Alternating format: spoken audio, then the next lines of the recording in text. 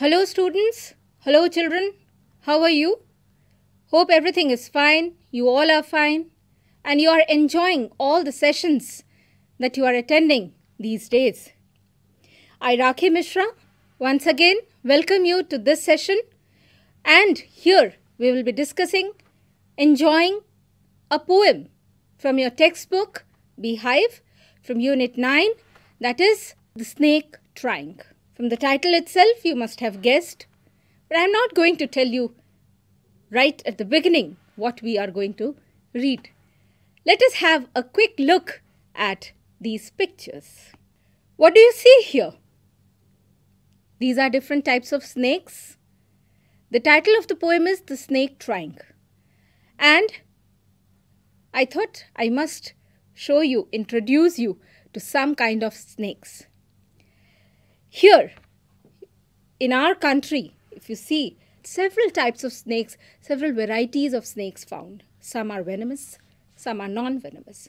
Some are poisonous, some are not poisonous. Some are harmful, some are not harmful.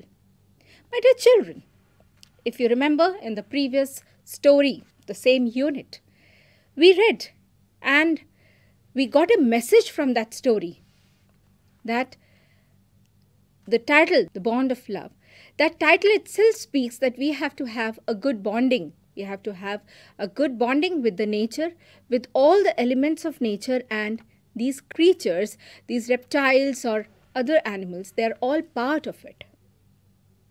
So goes with these reptiles also, the snakes also, right? The moment you see these pictures on the screen, I think you get scared oh mama some must be jumping on their chair right? Some must be running away from the from the room where you are sitting right now.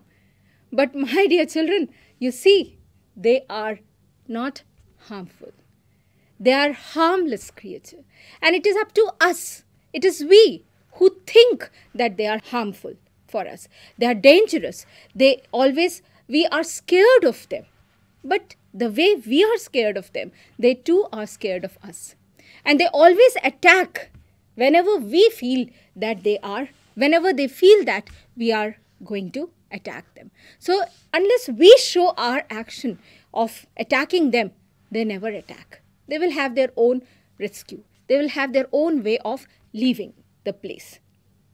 Here you can see the names of the different types of snakes here Indian egg eater snake, then flower pot snake. You can see even nature, it is God's creation, you see. They have a beautiful way of having camouflage. You see the snake, large scale pit uh, viper. This as if when it's lying, when it is it's found on the lawns, you cannot make out. The color matches with uh, the lawn so well that we feel we can't even see sometimes. Even when you find them on the trees or on the uh, wooden areas, they can even have the, uh, uh, they can change their color, right? The way we have the chameleons, sim similarly, they also can do. And sometimes they get the camouflage. And there are some tree snakes which are normally completely green in color and they you can't make out whether it's a leaf or a stem or it's a snake right but my dear children i want to tell you here that yes, we, we all human beings have a kind of feeling of we, we just get frightened the moment we talk about snakes.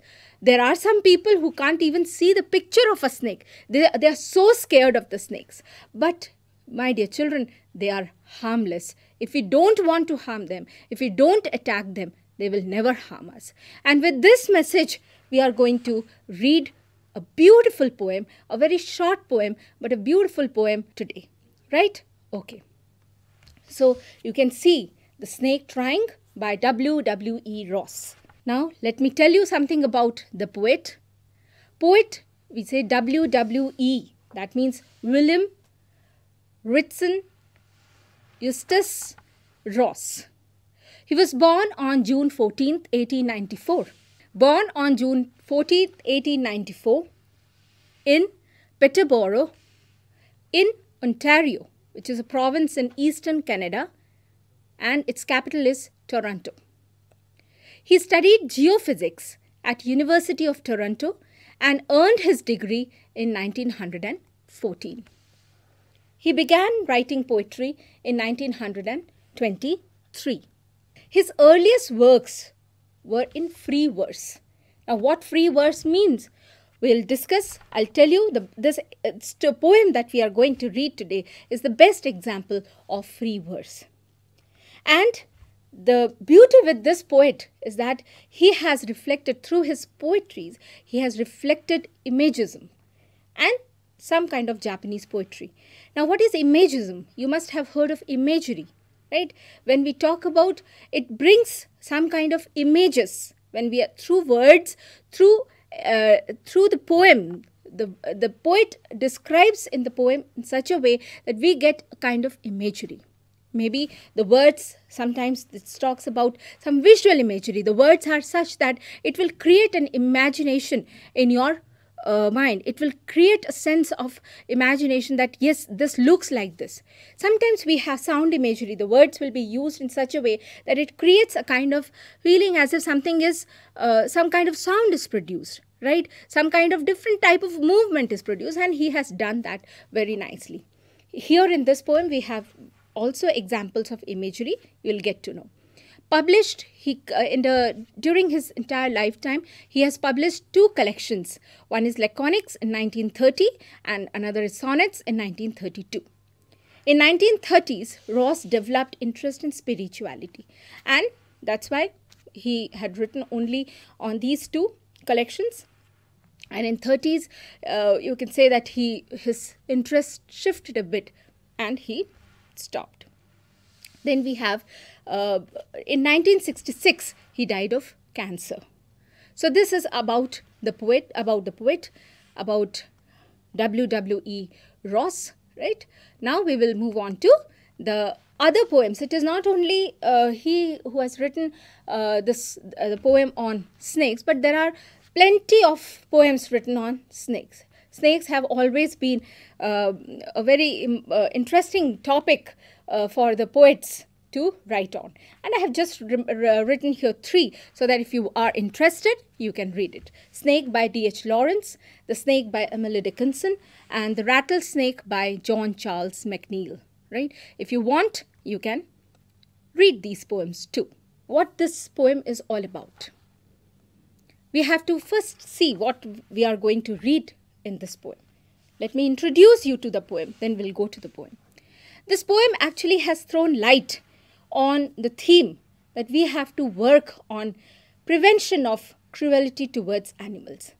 In my previous session, when I was talking about uh, the kind of uh, certain organized bodies are there, registered bodies are there, all over the world they are working for the protection of the animals. And we have this uh, poem with us with the same message that how we can prevent the people from being cruel to the animals. We should not unnecessarily torture them. Rather, we should accept them and let them also have a place in this world or on this earth. The way we survive, they too have the right to survive. The way we live happily, they too have the uh, right to live happily with their family. They too have kids, they too have family. It's not that they don't have or they don't have feelings. So we should remember that they, we should not be cruel to these animals. And here the poet is trying to appeal. This entire poem is actually a kind of appeal to the people. Through this poem, he has appealed to the people not to harm or kill the snakes. Because you see, they're such beautiful creature you just forget that you forget that you are frightened or you are scared of the snakes and you just observe them you observe them because this is something that i'm mentioning out of my own experience i have i, I used to be scared of animals but now the place where we are it is oh, it's known for having uh, uh, the most dangerous, the most poisonous snakes. But you see, whenever I see them wandering in my courtyard or I see them wandering in my uh, garden, I never get scared these days. I feel as if I am having a shelter, they too have a shelter. And sometimes I stand and of course from a distance and i see them i watch them i observe them and enjoy every activity once i enjoyed uh, uh, uh, there were two peeping from uh, the holes and they were trying to play as if they were playing hide and seek.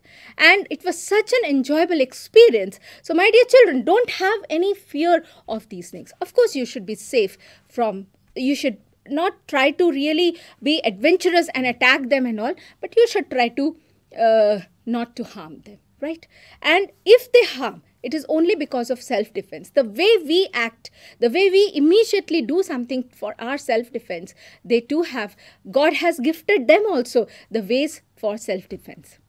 Snake is the, in this poem that we are going to read, it is here in the poem, the snake is the victim of humans. It is one, uh, one person who has tried to harm the snake. It is written in free verse. If you remember, I have uh, mentioned in the introduction about the poet that he writes in free verse. That means there is no rhyming scheme. You won't find any rhyming scheme. There are no rhyming pairs. And the lines are unequal in length.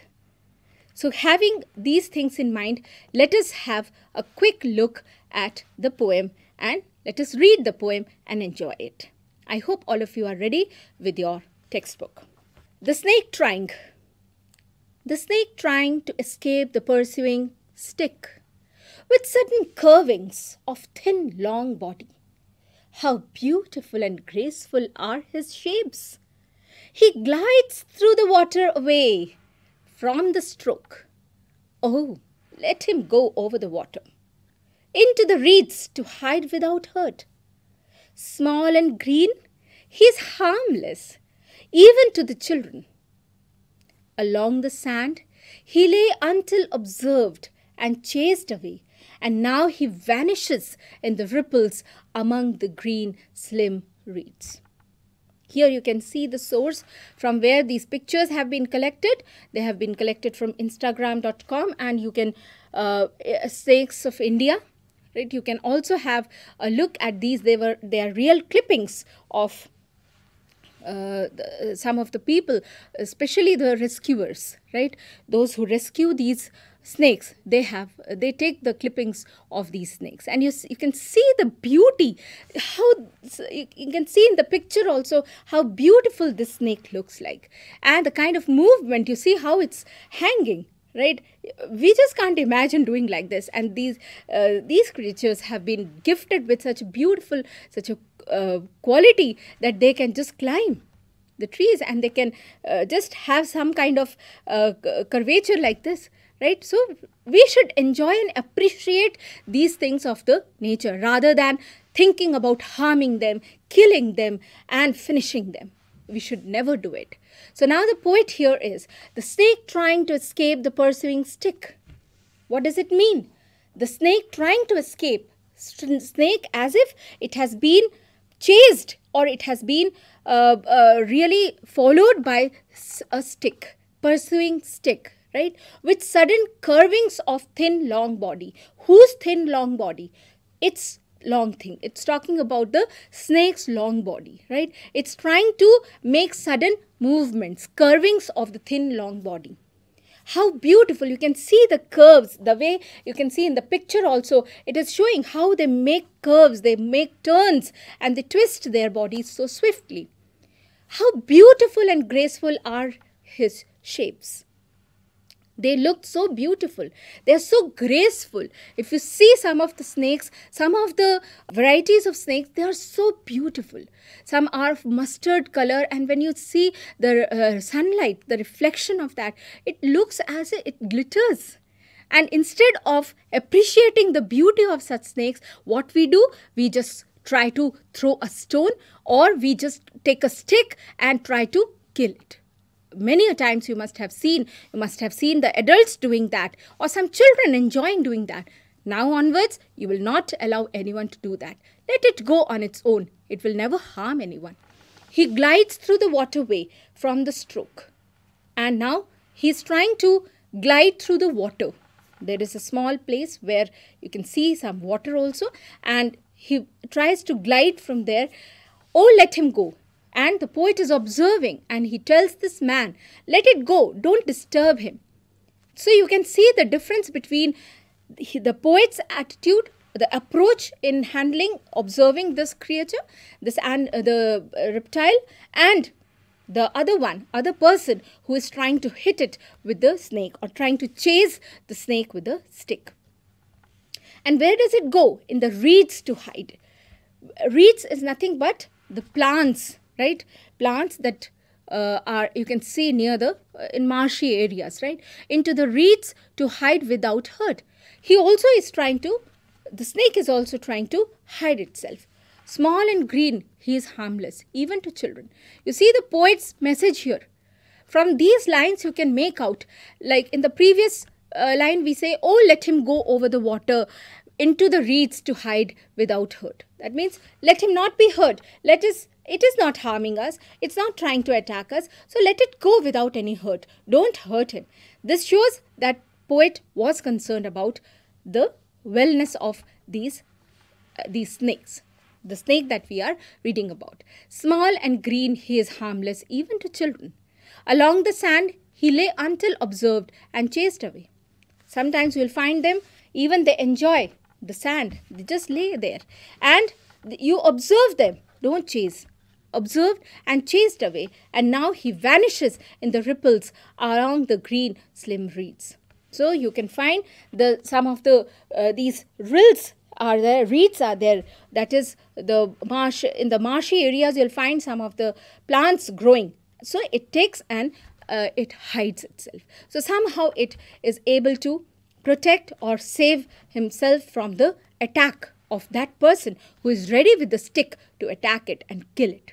Right? This is a very simple poem, but the message that you get here is that we should not harm these creatures. They are harmless. These snakes are harmless. And if we if we think we always have an assumption that they are harmful then nobody can stop us. But we have to understand that they are not harmful. They are harmless and even to the children they are harmless. So let them be safe. Let us not disturb them. Let, the, let them have their own way of spending their life now explanation is done let us have a quick recap of what we discussed, snake is trying to escape.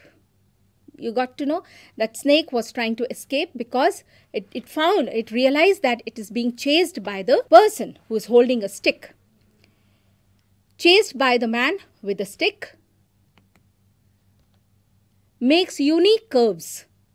It makes several curves and tries to have a quick rescue from there or you can say it moves from there because it does not want to be seen or noticed by anyone. Looks beautiful and graceful. Who looks beautiful and graceful? It is the snake that looks beautiful and graceful. It shows that the poet has that uh, ability to to appreciate the beauty of this graceful, beautiful creature. Poet requests the man to let it go over the water. He through this poem, it is not only to that person who is trying to attack him, who is holding the stick, and who is trying to attack him that he wants to make the request. In a way, it is an appeal to the entire human beings, to all the human beings, that we should not harm them, we should not attack them, we should not kill them. And in the process, what happens is snake manages to hide in reeds. You can see how it is hiding itself. It is a harmless green snake. You can find, you see the beautiful, I was talking about beauty and grace. You see, you can make out from the picture that how graceful it is. You see the eyes, they are just shining and the kind of glaze, the kind of shine they have on their on the scales, right? You can see how it is hiding and peeping from the reeds lies on the sand. Sometimes you'll find them even they are lying on the sand. Finally vanishes away in the ripples of green reeds, in the movement of the green reeds. Because it's a marshy area, so there are there's some water also and it manages to move there. Saves itself from the man. The man who was planning to kick, to uh, uh, uh, hit him with the stick, he uh, the snake manages to save itself. Now, my dear children, because we have already uh, discussed the whole poem, we have even understood the uh, kind of things the poet has tried to appeal to the readers to the uh, to and to have a sensitivity to develop a sensitivity towards these creatures uh, for in, in the children amongst the children. So you see with this we can even discuss on the poetic devices that the poet has used here. As i mentioned he is known for his uh, art of using imagery. Here you find there are plenty of Uh, there are examples where he has used you can see beautiful and graceful then glides through glides through the water. This is an example of imagery. You can feel how it moves right? And how it looks beautiful and graceful.